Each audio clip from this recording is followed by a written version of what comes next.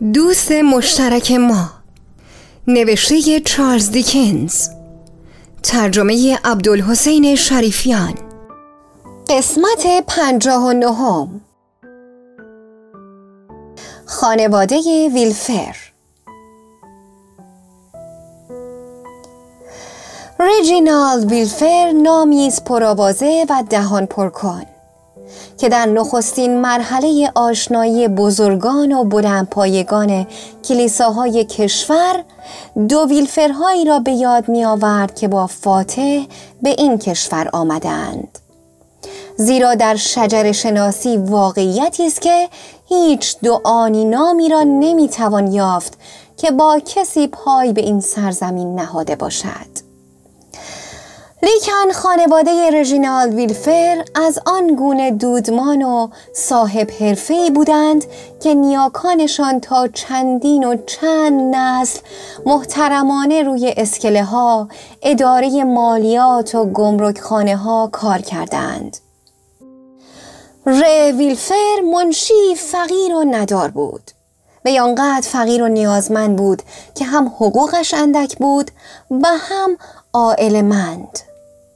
هرگز نتوانست به آن آرزوی بلند پروازانش برسد.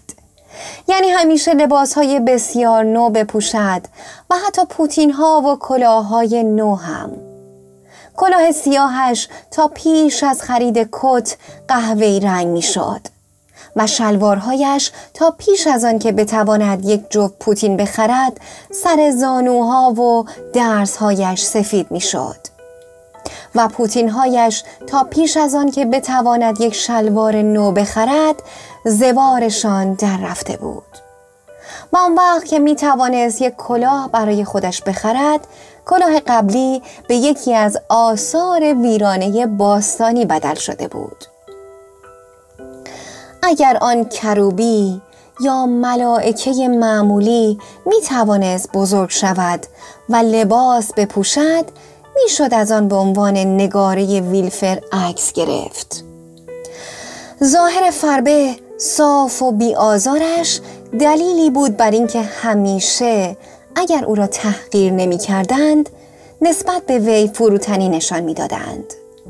آدم غریبه ای که حدود ساعت ده بعد از ظهر پای به خانه محقرش میگذاشت با کمال شگفتی او را بر سر سفره شام میافت. از نظر ریخت و قواره آنقدر کودکانه بود که آموزگار قدیمش اگر وی را در چیپ سایت می‌دید بعید نبود که اقوا شود و همانجا چند ضربه خیزرانی بر سرش فرود بیاورد. خلاصه کلام وی همان ملائکه معمولی و مرسوم بود با همان شکل و شمائل فرضیش تقریبا خاکستری با علاقه اید که در قیافش و یقینا در راه و روش یا وضع تنگ دستانش به چشم می‌خورد. این مرد آدمی محجوب بود و دلش نمی‌خواست اسمی که الهام بخش و گویای بی ارادگیست بر او باشد. موقع امضا کردن از کلمه ر استفاده می کرد. که جز دوستان بسیار صمیمی کسی چیزی از آن سر در نمی آورد. به همین دلیل بود که همسایگان لطیف گوی حوالی راسته مینسینگ از صفتها و وجه وصفی اسمای مسیحی خاص برایش ساخته بودند که با حرف ر آغاز می شد. بعضی از این اسمها کم و بیش با مسما بودند و به او می آمدند. مثل راستی یعنی زنگ زده. ریترینگ یعنی گوشگیر ردی یعنی قرمزی. راوند گرد و گلوله. ripe کامل مرد. ridiculous مسخره. ruminative متفکر. بعضی دیگر اسمها را به مناسبت ها می دادند. مثل raging یعنی عصبانی. rattling یعنی جیغ جیغو رورینگ یعنی قران و رفیش یعنی هیزه. ولی معمول ترین اسمش رامتی بود. که در یک لحظه الهام بخش مردی بر وی نهاده بود که در عیش و نوش های مجالس مواد مخدر که اخیرا بابروز شده بود به لطیف پرانی شهرت داشت. و همین رهبری های آوازخانی های دست جمعی این گونه مجالس بود که او را به اوج شهرت رسانده بود. به این ترتیب همیشه حتی در کوچکترین یادداشت های کاری او را به اسم رامتی عزیز خطاب می کردند که در پاسخ به آنها با متانت تام امضا می کرد ارادتمند ر ویلفر. وی منشی داروسازی چکزی، وینیرینگ و استابلز بود. چیکزی و استوبل که از اربابان قدیم وی بودند هر دو جذب وینرینگ شده بودند که زمانی بازاریاب یا نماینده آنها بود که با وارد کردن مقدار زیادی پنجره های شیشه سنگی و دیوارهای جدا کننده پیش ساخته از چوب ماغون و درهای بزرگ جلاداده شده به بازار توانسته بود خود را به قدرتمندان نزدیک کند. ری ویلفر در غروب یک روز میزش را قفل کرد و در حالی که دست کلیدش را که انگار فرفره بود در جیب میگذاشت رو به سوی خانه نهاد خانهاش در محله هالووی در شمال شهر لندن بود که کیشزار و درخزارهایی از آن جدا می شدند.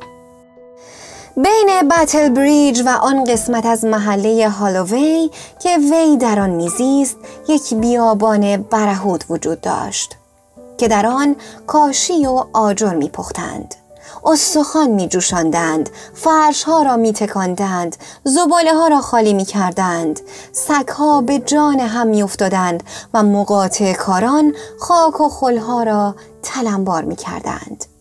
ر ویلفر که کناره این بیابان یا صحرا را دور می‌زد وقتی از این راه میگذشت با دیدن نور آتش کوره های آن که نوعی مه یا قبار میآفرید آه می‌کشید و سر تکان می‌داد. وی می‌گفت وای بر من هیچ چیز حالا مثل آن گذشته ها نیست.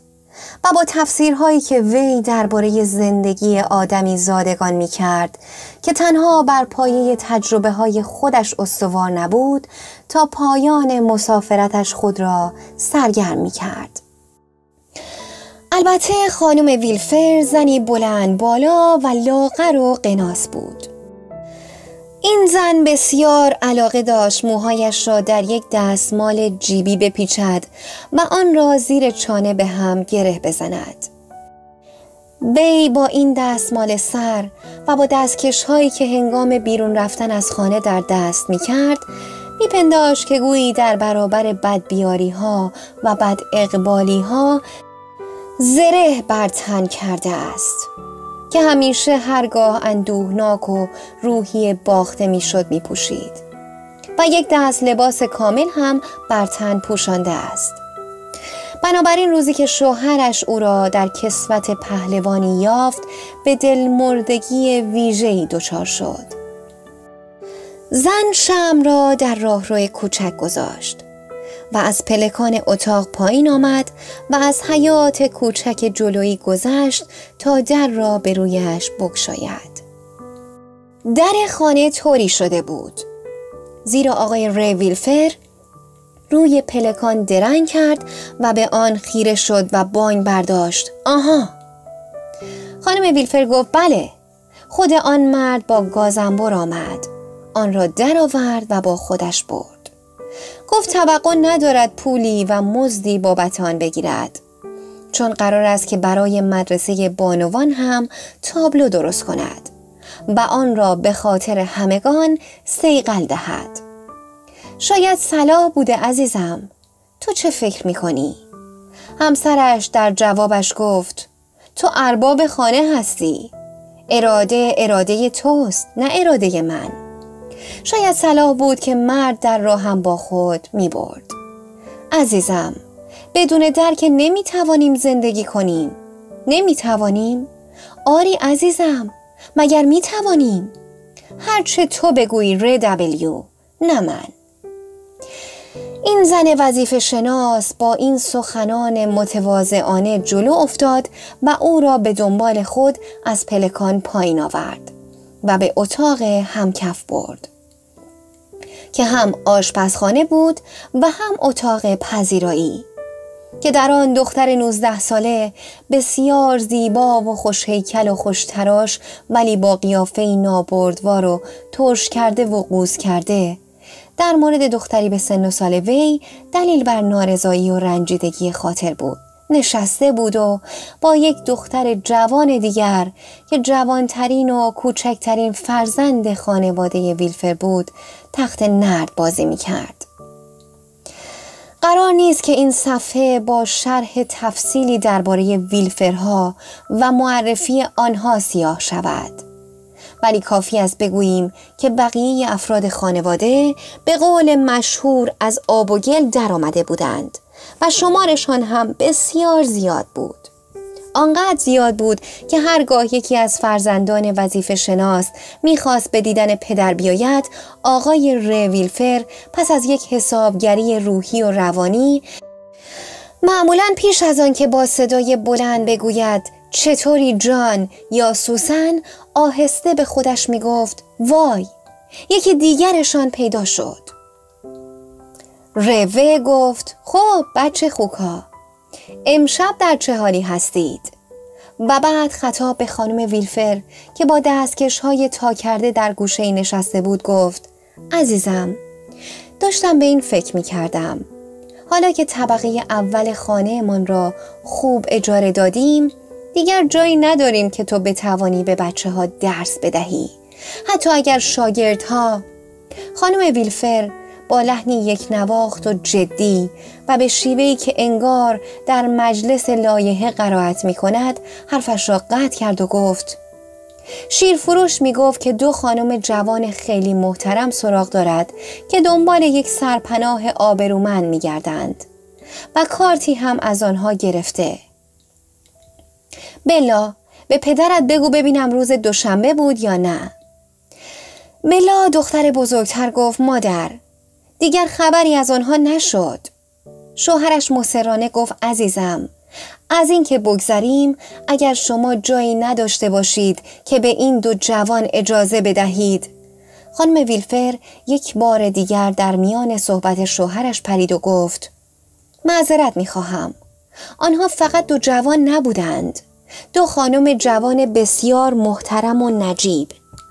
بلا به پدرت بگو که شیر فروش چه می گفت عزیز دلم مگر چه فرق می کند؟ خانم ویلفر با همان یک دندگی ویژه گفت خیلی فرق می کند شوهرش گفت عزیزم مقصودم این است که از نظر جا و محل هیچ فرقی نمی کند از نظر جا و محل.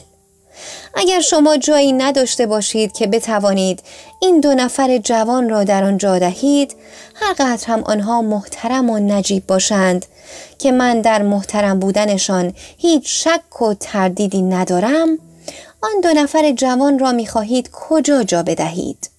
دنبال بحث را نمی‌گیرم بعد با لحنی آرام و آشتی جویانه مدیه سرایانه و بحثگونه ادامه داد. من فقط از نظر یک هم نوع به این قضیه نگاه می کنم. فکر می کنم تو هم با من هم عقیده ای.